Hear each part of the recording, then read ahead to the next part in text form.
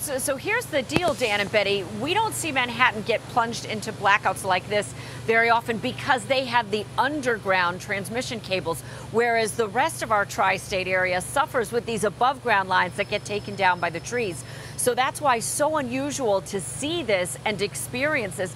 Take a look at the video where Manhattan was plunged into darkness. We're talking about from Lenox Hill through the Upper East Side in the 60s across Central Park to the Upper West Side, all the way up into Washington Heights, Hamilton Heights, up to around 145th Street. A large swath of people somewhere in the neighborhood of 250,000 people or more that got completely knocked off the grid. And of course, the fears that this will have one of those incredible domino effects where other lines get taken down, which we have seen with the grid in the past. That was not the case this time. Power was able to be restored in about 30 minutes. And so that was the good news on all of this.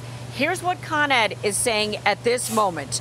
We are investigating a problem on our transmission system that caused three networks in Manhattan to lose their electric supply about 513. The supply has been restored to those networks on the Upper West Side, Harlem, and the Upper East Side. Car, uh, Con Edison, of course, right now in the hot seat for its inability to get people restored quicker, to coordinate to clear roads faster and get these trees out of the way so that power can be restored. They have had ample opportunity through Irene, through Superstorm Sandy, through snowstorms to understand how fragile this grid is and to respond more quickly. They have been in the hot seat with Governor Cuomo being called in in front of the Public Service Commission, threatened with having their license revoked. And now we see again disappointing customers. This was a quick turnaround, and people are very fortunate. Spillover effects as well on the subways.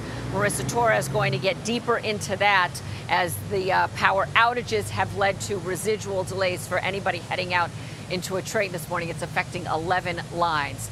Still a lot going on this morning as so many people, more than a million, are without power across our area. Reporting live this morning from the Upper East Side, I'm Kirstin yeah. Pix 11 News.